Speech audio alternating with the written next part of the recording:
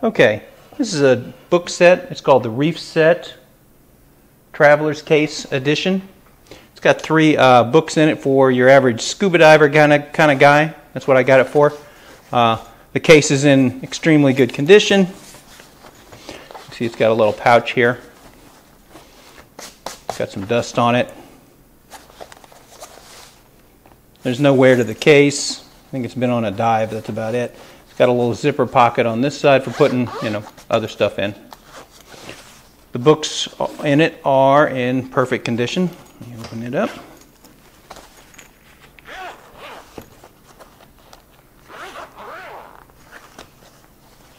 There's three of them. These are by Paul Humann, edited by Annette DeLoach. Reef creature identification, reef corals, and reef fish.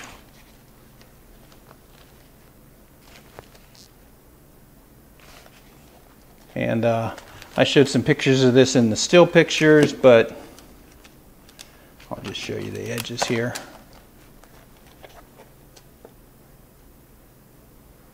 They're in basically unused condition. To tell you the truth, I don't know if I ever looked in here looked at these books.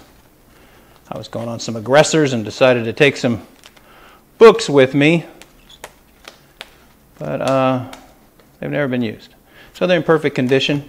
If you have any questions, um, feel free to ask.